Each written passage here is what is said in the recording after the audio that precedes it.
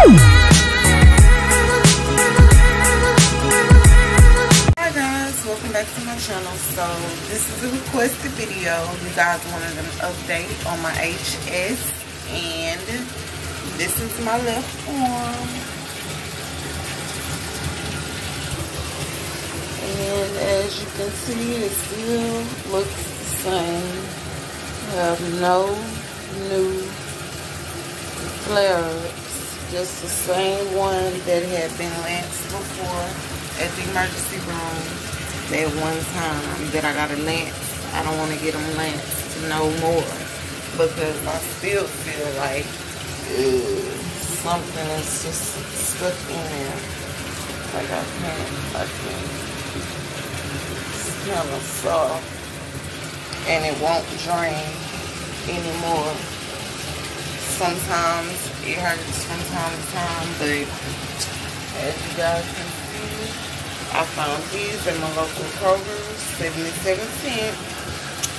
How did they know I needed these?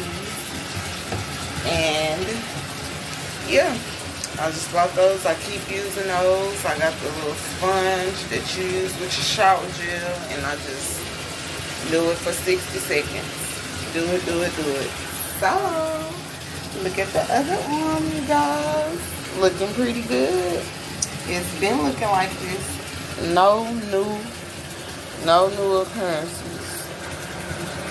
And as you can see, there's no hair on them. And that is because I wax. I do not shave.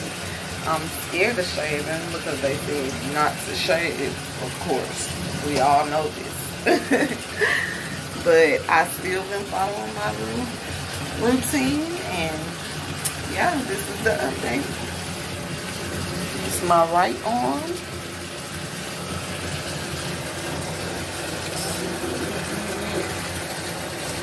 Close up. Have some deep little holes in there and that's about it but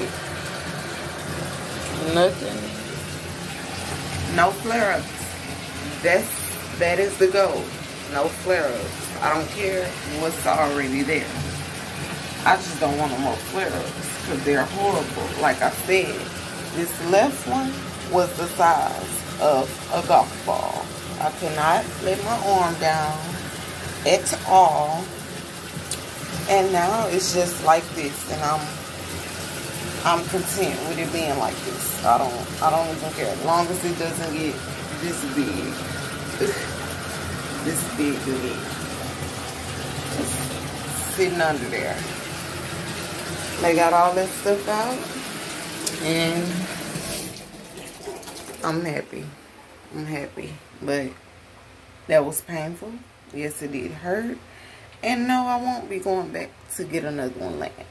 And you guys have to watch my previous video to find out when I got it lanced and all this stuff. I'm sure it was like a year or something ago. If it wasn't a year, it was almost a year. But yes, y'all, this is the update. Looks pretty good to me. Thanks for watching. Bye.